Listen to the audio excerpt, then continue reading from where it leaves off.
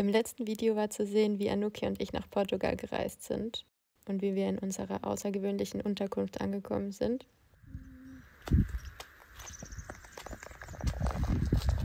Wir haben uns sofort wohlgefühlt und ich konnte direkt anfangen, meiner Mission hier nachzugehen.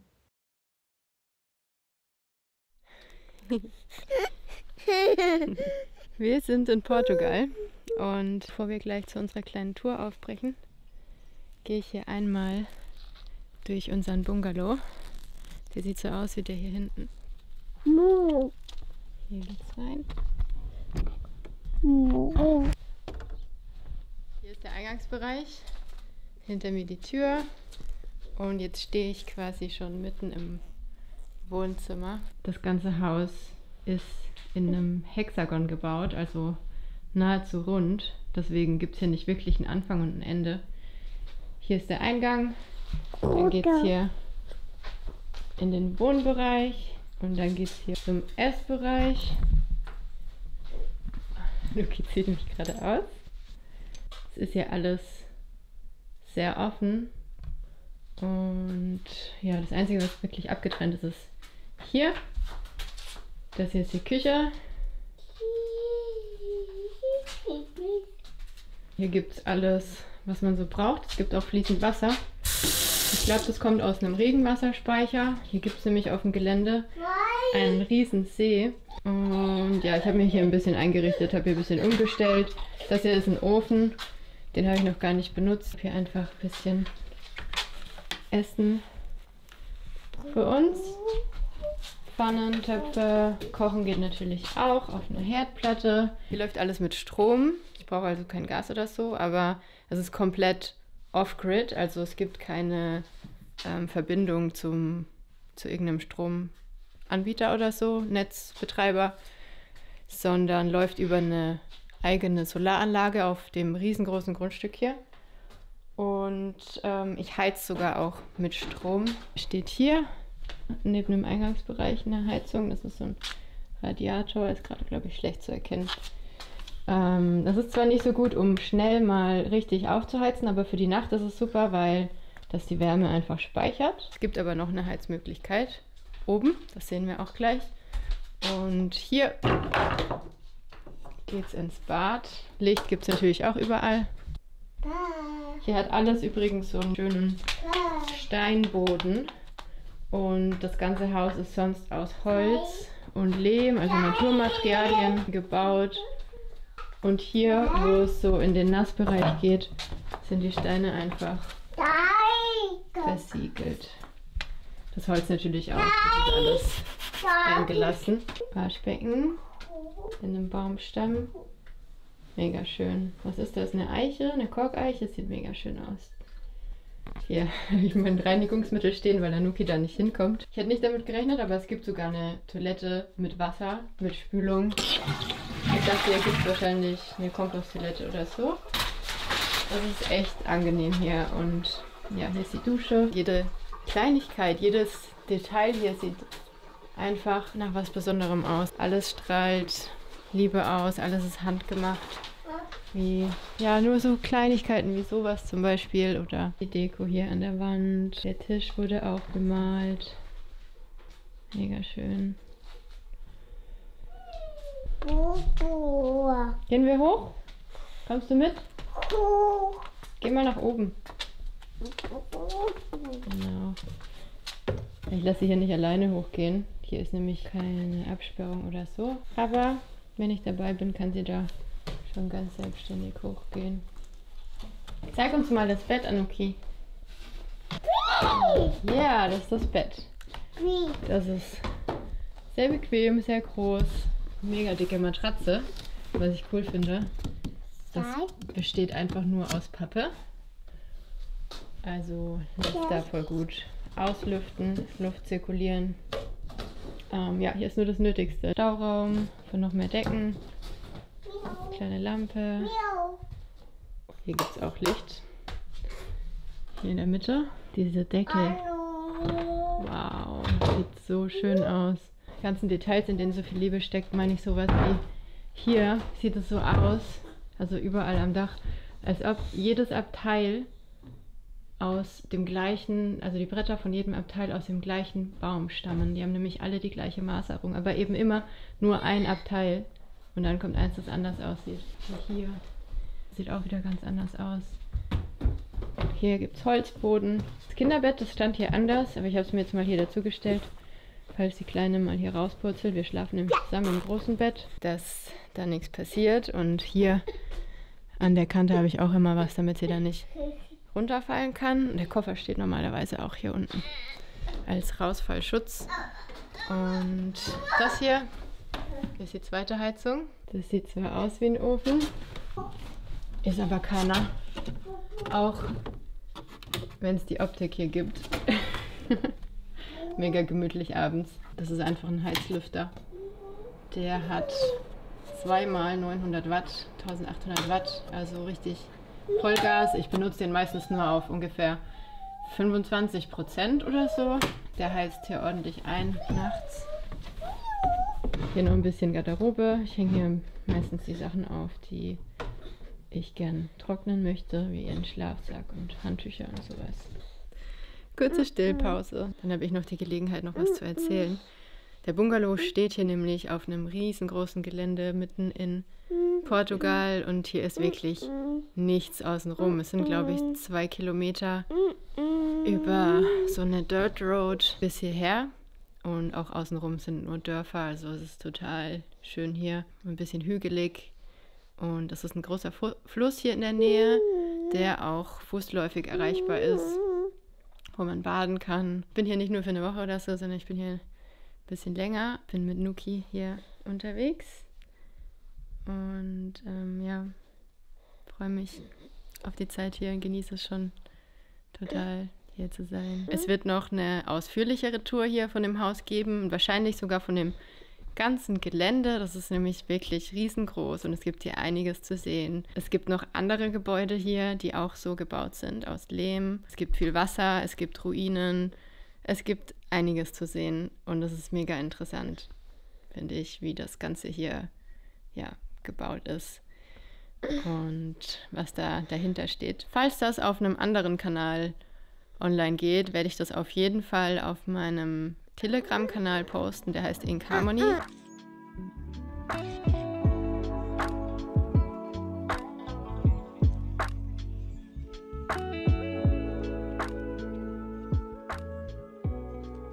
Schwierig, oh in diesem Auto die Kamera zu platzieren. Wir haben hier so einen Opel Corsa, einen ganz neuen, der sich echt gut fahren lässt, muss ich sagen. Bin sonst kein Opel-Fan. Aber mit dem ist ganz angenehm. Ich merke nur nicht, wenn er hochdreht, weil er einfach so leise ist. Wir haben eine Mission hier in Portugal. Und ja, da, wo wir jetzt hinfahren, das ist ein Teil davon.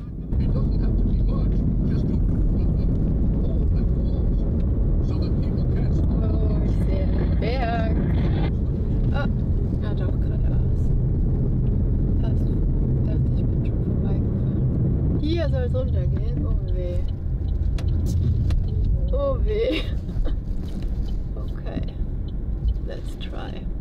Okay, das ist kein Weg, der gefahren werden sollte. Aber ich glaube, ach komm, wir laufen einfach. Ich fahre jetzt hier mal rückwärts wieder hoch und wir können uns ja den anderen Weg zu Fuß angucken und dann immer noch runterfahren. Also ich glaube, das ist nämlich der kürzere Weg dorthin. So, wir bleiben hier stehen, Anuki. Du kannst auf meinem Arm schlafen ohne Trage. Biene? Ja.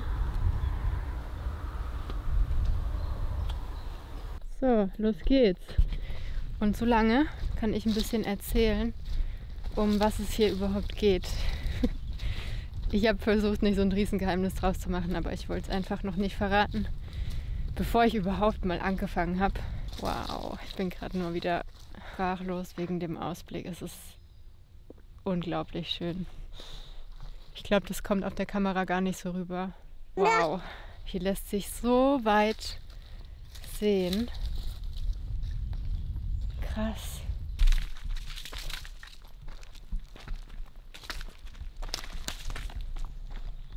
Hier ist ein Haus und hier ist es ultra steil. Bin doch ganz froh, dass wir da nicht lang gefahren sind. Das hat hier auf jeden Fall mal gebrannt. So wie es hier aussieht. Wir laufen zwar noch ein großes Stück, aber hier ist wirklich alles Eukalyptus. Ich sehe gerade an den Bäumen. Ich glaube, diese Korkeichen haben alle einfach einen schwarzen Stamm unter dem Kork. Wenn die abgeerntet wurden, sehen die aus, als wären die verbrannt. Ich glaube, es lag gar nicht daran, dass es hier mal gebrannt hat. Runter geht's. Ich glaube, hoch wird ein bisschen anstrengender mit der kleinen Maus. So müde. Komm. Ich bin total erstaunt, wie gut das mit der Kleinen klappt. Auch die Flüge. Ich habe mir überhaupt keine Gedanken gemacht im Vorfeld. Ich weiß nicht, ich glaube, ich habe gefühlt, dass alles gut geht. Und das ist bei mir, das ist ja generell so, wenn sich was, wenn was das Richtige ist und man fühlt, dass es das Richtige ist, dann nimmt man da auch alle Hindernisse in Kauf und zerbricht sich da eben gar nicht den Kopf drüber. Ist nicht so viel im Verstand, sondern hört aufs Gefühl und dann wird sich alles von alleine fügen. Und es haben sich vor dieser Reise schon und auf dieser Reise so viele Dinge einfach gefügt, die ich gar nicht so gut hätte planen können. Und auch heute wieder, es klappt so gut und ihr geht so gut, seit wir in Portugal sind, seit wir da in der Lehmhütte wohnen, ist sie so viel ausgeglichener. Sie kann den ganzen Tag rausgehen. Es ist nicht kalt. Es reicht eine dünne Jacke. Mit einer Trage wäre es jetzt natürlich noch einfacher. Aber ich will mich nicht beklagen. Ich werde sie jetzt gleich wieder hochnehmen, wenn sie richtig eingeschlafen ist.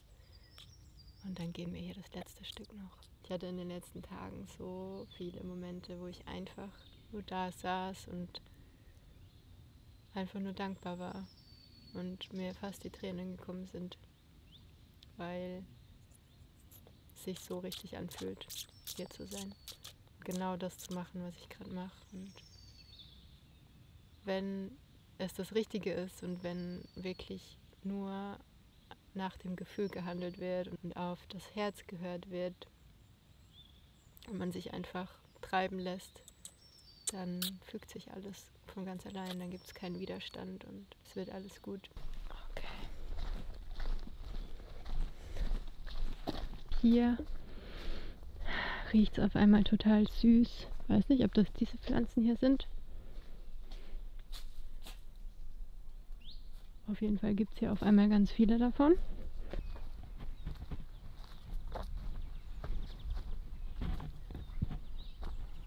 Krass, hier wächst einfach sogar ein Kaktus. Hier gibt es auf jeden Fall einiges zum Wiedermachen. Das ist zumindest ein bisschen besser. Ein bisschen mehr Halt.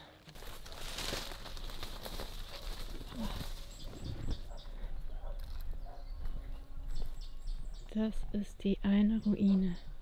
Hier sind noch Dachziegel, das ist super halt alles komplett zugewuchert. Aber tatsächlich nicht so viel Eukalyptus, wie ich dachte. Und hier ist sogar eine Terrasse gemauert. Okay. Die Wände sehen super stabil aus. Hier sind noch viele Steine zum Wiederaufbauen. Wow, okay. Hier ist alles zugewuchert. Ich suche ja nach Potenzial und nicht nach was Fertigem.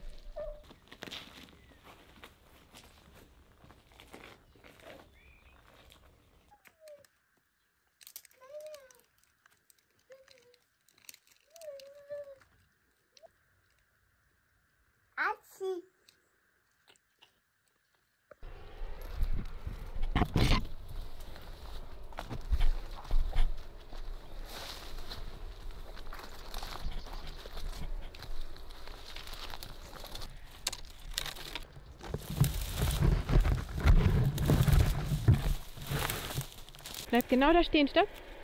Hier sind ganz viele Dornen, bleib da stehen. Ich mache hier mal den Weg frei und dann können wir uns die zweite Ruine angucken. Kinder- oder Brombeersträucher. Mama! Da ist viel davon. Ja, die Mama macht hier den Weg frei.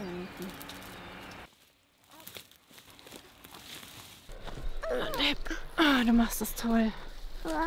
Ja, nicht so viel strampeln. Sonst bleibst du hier in den Dornen hängen. Schulge. Schu.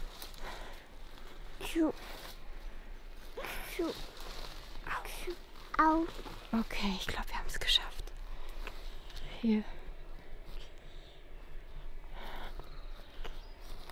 Titi. Ja, ich glaube, ich sehe das Haus. Okay. Willst du, jetzt kannst du selber laufen. Und ich sehe einen Zitronenbaum. Komm, wir holen uns eine Zitrone. Wow. Oh, hier ist es schön. Das ist das erste Mal in meinem Leben, dass ich einen Zitronenbaum sehe. Kommst du mit? Geht auch. Hip. So, hier. Wei. Wald. Ja, guck mal, hier ist ein Zitronenbaum. Wow, sehen die gut aus. Ich glaube, es ist gerade die perfekte Zeit, um Zitronen zu ernten. Mich. Ja, hältst du die fest? Wow. Richtig alter Zitronenbaum. Und noch einer neben der Kinta-Ruine. Hier hat wohl mal jemand gelebt. Vor einer Weile. Wow. Wow. Ich weiß noch nicht viel über dieses Haus, aber ich weiß, dass es wohl auf einem Felsen steht. Hier ist der Felsen. Und wir gucken da jetzt mal rein. Das Dach sieht alles andere als vertrauenserweckend aus. Okay, krass, hat sogar einen Keller. Ich passe nur ein bisschen auf, weil das hier wahrscheinlich schnell einstürzt. Ich bin gleich wieder da, Maus. Das Dach muss natürlich komplett runter. Hier ist der Fels, die Terrasse sozusagen. Stopp! Stopp! Ja, viel, viel, viel Arbeit, aber auch sehr viel Potenzial. So, ja, ich komme schon wieder, alles gut. Und wir sind jetzt auch durch für, für heute hier. Anuki, da können wir nicht reingehen. Das Haus ist ja nicht fertig. Okay. Neuer Tag, neuer Versuch, neue Strecke. Das ist jetzt der andere Weg. Der kommt von der anderen Seite und geht durch den Wald und ist sogar kürzer.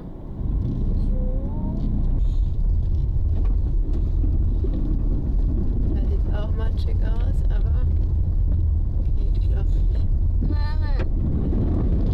Oh no. Okay, das war nicht die beste Idee. Das ist viel tiefer, als ich gedacht habe. Oh no. Mama. Mama.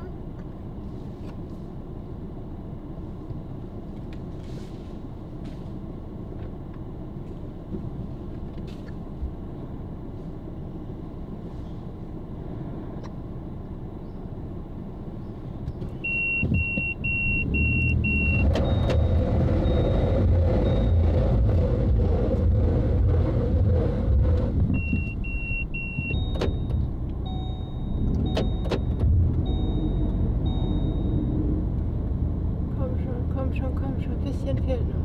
Zurück.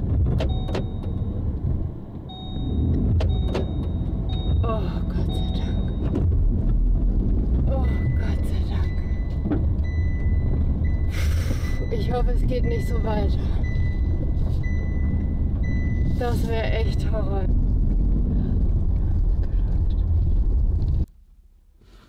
Ach, ich habe mich gerade bei Anuki bedankt, weil sie so toll mitmacht. Puh, das war gerade.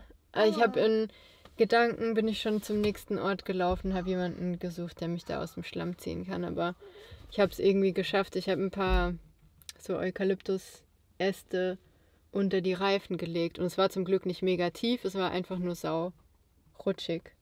Und jetzt stehen wir tatsächlich direkt am Grundstück. Nach der ganzen Aufregung habe ich mir nochmal alles ganz in Ruhe angeguckt. Zum Beispiel, wo die Quellen genau sind, also wo Wasser auf dem Grundstück ist, was für Bäume und Sträucher da wachsen, wie groß das Gelände überhaupt ist. Bin mal die Grenzen abgegangen. Die Ruinen habe ich mir auch nochmal genau angeguckt.